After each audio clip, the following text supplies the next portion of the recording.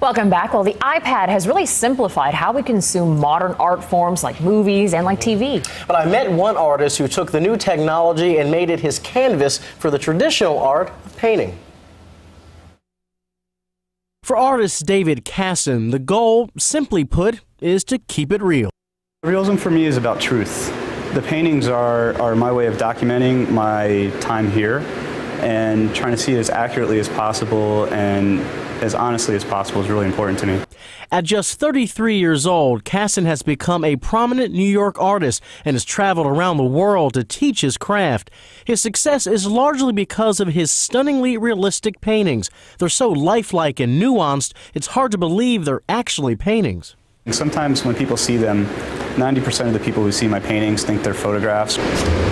It's meant as a compliment, of course, but Kassan says actual photographs lack the texture and emotion of his paintings. So until the end of your 100 hours you spent with this person painting them, you've talked with them throughout the process, you know who they are, you've captured the little nuances of their expression and their emotion, and you're, they're pretty much, they're not a mile away anymore and they're not blurry, they're right next to you and you're shaking their hand.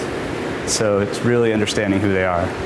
And Kassan is now taking that understanding straight to an iconic piece of 21st century technology, the iPad.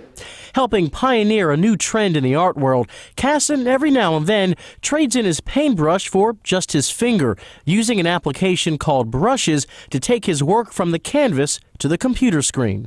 I couldn't imagine having this like 10 years ago to draw with. It's like a portable color sketchbook that uh, I've had people give me cards on the subway because they saw me painting with it. Some people are using it to present their artwork and present almost like a portfolio who they are. And then there's another wave of people that I think that are like David, who have been using every new media that comes out. Kassan cannot actually sell the images he creates on the iPad. The device is more of a way to showcase his other work, perfect his technique, and experiment with a new trend.